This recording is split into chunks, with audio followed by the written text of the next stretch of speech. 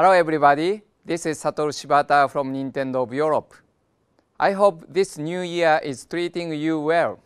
And today I would like to share some more new information about products that will be coming to Europe soon. Directly with you. Let's start with Wii U. We have launched 18 different amiibo already, and more are on the way soon. On April 24th, Robin, Lucina, Wario, Charizard, Ness, and Pac-Man will be available. These amiibo are all part of the Super Smash Bros. collection.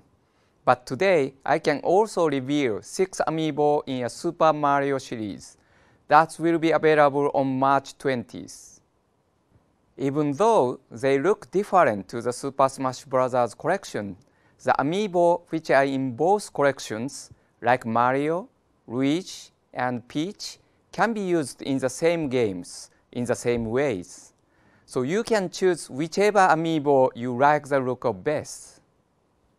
The Toad amiibo from the Super Mario series will be compatible with Captain Toad Treasure Tracker, which we launched on January 2nd this year. By touching the Toad amiibo to the Wii U gamepad, you can play a new mode, like Hide and Seek, where you try to find pixel art toads hidden throughout the stages.